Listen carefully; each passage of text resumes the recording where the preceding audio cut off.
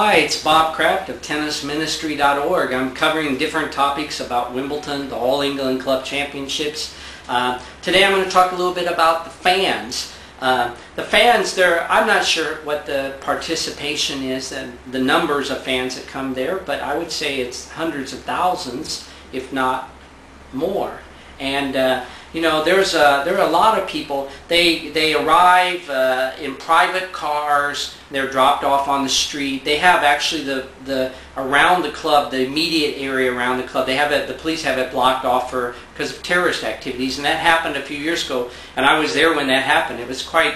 It created quite a change in the way the the tournament was run. Uh, so all of a sudden, the tournaments have the the people who are in private chauffeured cars or driving themselves, they have to park uh, away from the tournament site uh, and then walk the remainder of the distance. But then you have a lot of fans that are taking uh, the shuttle bus up to the tournament from the, the tube or the subway, and that's actually in Wimbledon Center. There are uh, thou that's where the majority of the fans come from. There's thousands and thousands of them walking uh, to the shuttle bus. Great place to go and reach the fans for Christ. Uh, there are also many walking from another direction of the tournament where you can enter the tournament from two different directions. And you can stand on the sidewalk, share the gospel. And actually, um, the uh, uh, fans wait all night for tickets. And that's very famous. You know, they, they pitch tents and they sit there and they, they stay overnight and then they get in a queue or a line and they're waiting for tickets. Uh,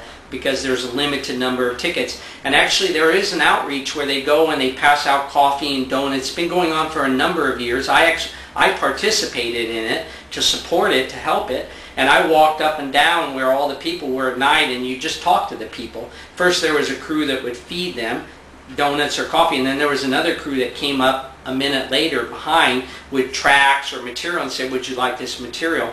Now, you know, is that the approach I would take necessarily? Uh, I could just tell you I support those kind of approaches for ministry. Uh, maybe I would spend my time doing it doing ministry in a different way. But I for sure saw it.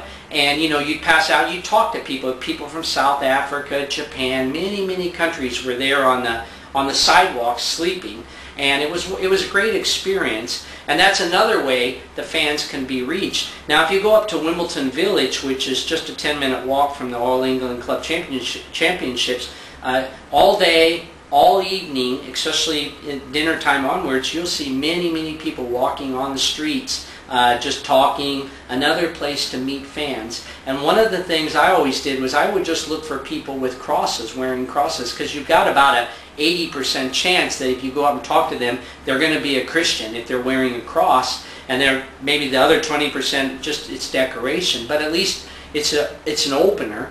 And uh, you know you can share what you're doing, and you're going to find people who are going to be interested in that. Uh, those would be the fans. We need to pray for those fans that are going to that tournament. Uh, of course, you have the millions and millions that are watching on TV, but uh, that's a bit harder to reach them through the TV screens. But having said that, there are million, there are uh, hundreds of thousands of fans going to that tournament. Reach out to them. It really would. You wouldn't even have to go into the tournament site to have a, a, a noticeable impact.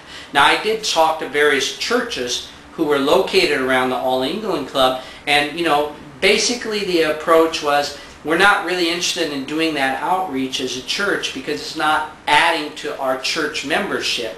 And I could see that. You know, most of the fans that are coming are from many, many places around the world or even around England. They're not nearby. They're not in the Wimbledon uh, area uh, where they live. So that made sense to me because churches have limited resources on their time, on their money, and so forth. But uh, on the other hand, you know, God may be calling you to go and share the gospel with people. And uh, I would just share, I would just encourage you to work with your church if you're gonna, if you feel God is calling you to reach those fans. Uh, get the support of your church and the sending of your church and the covering, the spiritual covering of your church, and then look to raise support from within your own church. That's what I would suggest. I hope you have a good time watching those championships. Take care.